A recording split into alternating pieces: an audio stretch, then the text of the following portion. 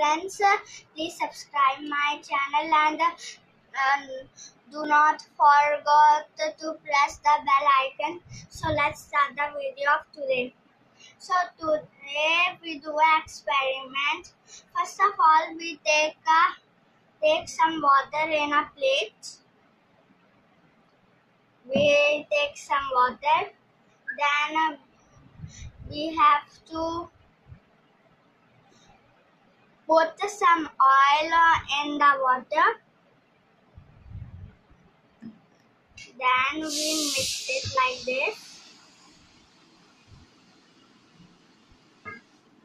So you can see the water, water and oil are not mixing together.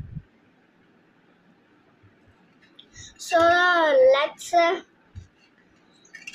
see the reason. Why does the water not mix with the oil? Oil is less dense than water.